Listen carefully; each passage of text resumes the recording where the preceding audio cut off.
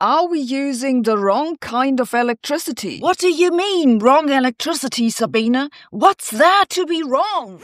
Well, well, we use alternating currents that switch polarity.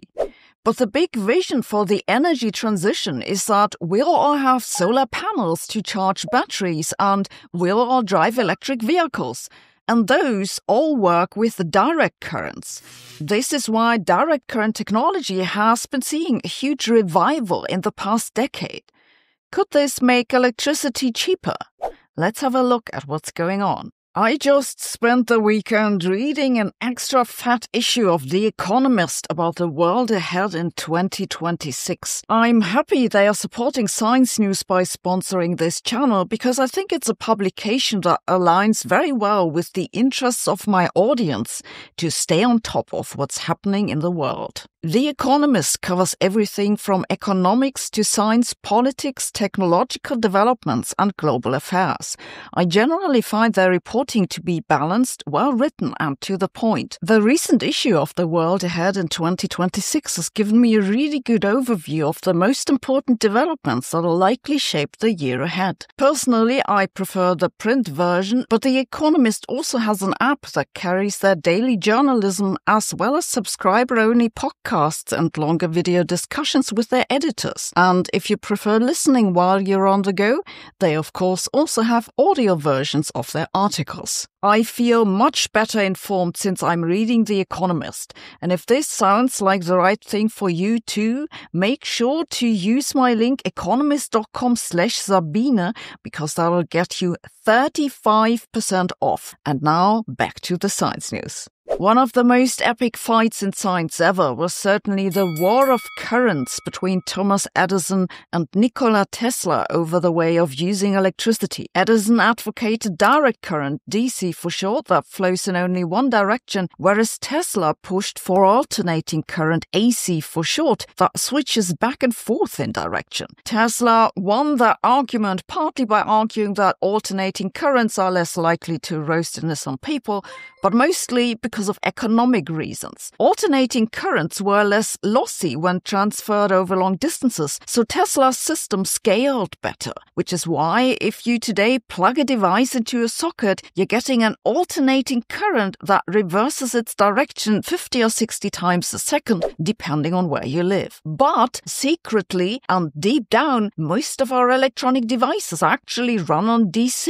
Phones and laptops, microwaves, Wi-Fi routers, LEDs, they all run on DC. Indeed, it's easier to list the devices that don't run on DC, primarily those which use the current to generate heat, electric ovens, toasters, and quite possibly the thing that I got for Christmas from my mother-in-law. Though for most of those, there are DC alternatives. The European Association of Distribution System Operators has estimated that by 2030, up to 80% of energy demand in homes will be by DC powered devices devices. It's not just homes, it's industry too. Most IT equipment runs internally on DC, so do most electronics, large or small. The semiconductor industry uses a lot of DC and the telecom infrastructure too. Now add to this that solar panels and wind turbines generate direct current and that converting back and forth inevitably leads to losses.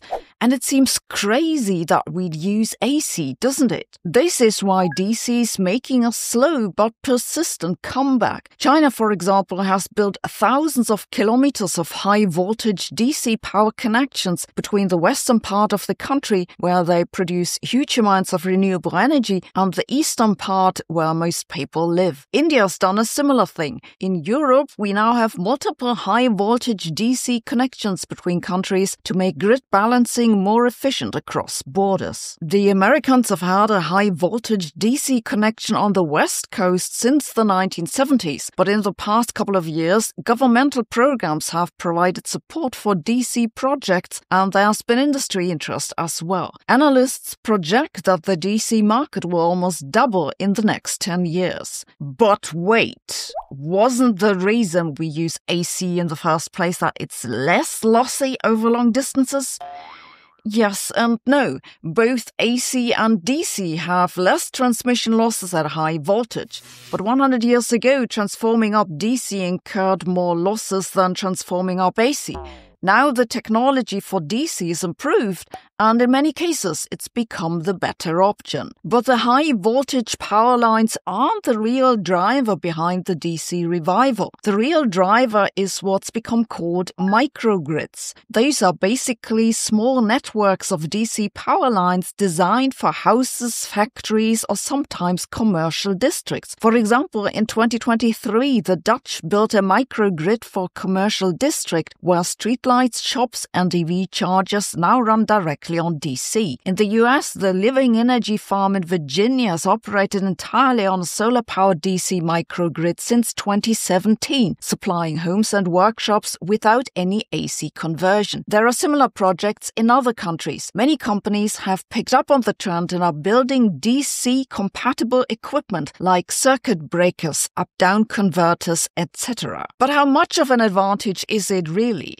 Numbers are hard to come by, but here is an example. A few years ago, Purdue University retrofitted a real 1920s house to run primarily on direct current, solar panels, battery storage, a DC powered heat pump, etc. They just published a preliminary result and found that they cut electricity use for heating and cooling by roughly 12 to 17%. But overall, studies have found that the savings are small for general homes in the range of 2 to 15%, and the high end applies only when using solar batteries and EVs.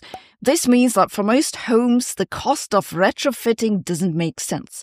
However, switching to DC microgrids might make sense for new data centers or certain types of factories or new buildings. My guess is that this trend towards DC will continue, and while it won't change the world, it'll make parts of it more efficient a micro revolution, so to speak. Hello? It's Thomas Edison. He says, I told you so.